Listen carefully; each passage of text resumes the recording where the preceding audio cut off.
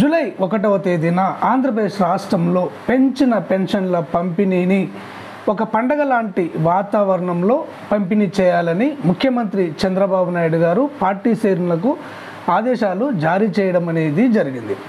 ఇక్కడ జూలై ఒకటవ తేదీన ఇక్కడ వృద్ధులకు వితంతువులకు ఒంటరి మహిళలకు గీతా కార్మికులకు వీరందరికీ కూడా ఇక్కడ పెన్షన్ను మూడు వేల రూపాయల నుంచి నాలుగు వేల రూపాయలకు వికలాంగుల పెన్షన్ను మూడు వేల రూపాయల నుంచి ఆరు వేల రూపాయలకు అదేవిధంగా దీర్ఘకాలిక రోగుల పెన్షన్ను ఐదు వేల రూపాయల నుంచి పదివేల రూపాయలకు ఇక్కడ పూర్తి స్థాయి వైకల్యం కలిగి మంచానికి పరిమితమైనటువంటి వారి పెన్షన్ను ఐదు వేల రూపాయల నుంచి పదిహేను వేల రూపాయలకు పెంచడం జరిగిందని ఈ పెన్షన్ల పంపిణీ కార్యక్రమాన్ని నభూతో నా భవిష్యత్తు అనే విధంగా పండగ వాతావరణంలో నిర్వహించాలని ఆయన పార్టీ శ్రేణులకు పిలుపునివ్వడం అనేది జరిగింది.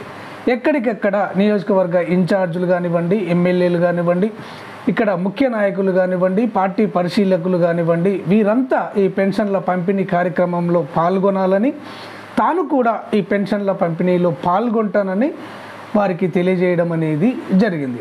ఈ పెన్షన్ల పంపిణీ ఇంటి వద్దనే చేపడతామని ఇంటింటికి వెళ్ళి గ్రామ మరియు వార్డు సచివాలయాల సిబ్బంది ఈ పెన్షన్లను పంపిణీ చేయడం జరుగుతుందని వారు తెలియజేయడం అనేది జరిగింది.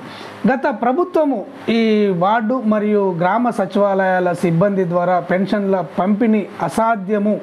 వాలంటీర్ల ద్వారానే ఈ పెన్షన్ల పంపిణీ జరగాలని వారు వాదించిన నేపథ్యంలో ఇక్కడ గ్రామ మరియు వార్డు సచివాలయాల సిబ్బంది ద్వారానే ఈ పెన్షన్ల పంపిణీ సాధ్యమని మేము నిరూపిస్తామని వారి ద్వారానే ఈ పెన్షన్లను పంపిణీ చేయడం జరుగుతుందని కూడా చంద్రబాబు నాయుడు గారు స్పష్టం చేయడం అనేది జరిగింది.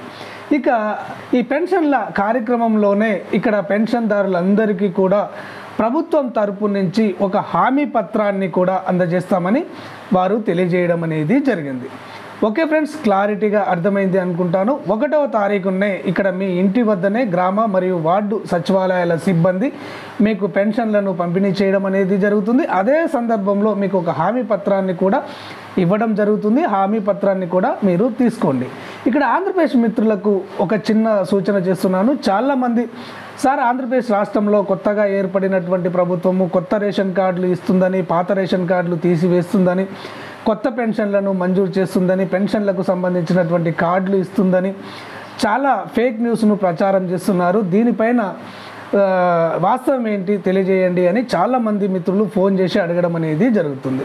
ఇక్కడ వీరందరికీ తెలియజేసేది ఏంటంటే వాస్తవమే ఆంధ్రప్రదేశ్ రాష్ట్రంలో కొత్త ప్రభుత్వం ఏర్పడిన నాటి నుంచి చాలా ఫేక్ ఛానళ్ళు ఇప్పుడు మీరు చెప్పిన విధంగా వీడియోలు చేసి ప్రజలను కన్ఫ్యూజన్కు గురి చేస్తున్నాయి. మీ అందరికీ నేను చేసే సూచన ఏంటి అంటే ప్రభుత్వం ఏదైనా నిర్ణయం తీసుకుంటే ఇక్కడ ప్రభుత్వం నుంచి సీఎంఓ కార్యాలయం వారు ప్రకటనను రిలీజ్ చేయడం అనేది జరుగుతుంది.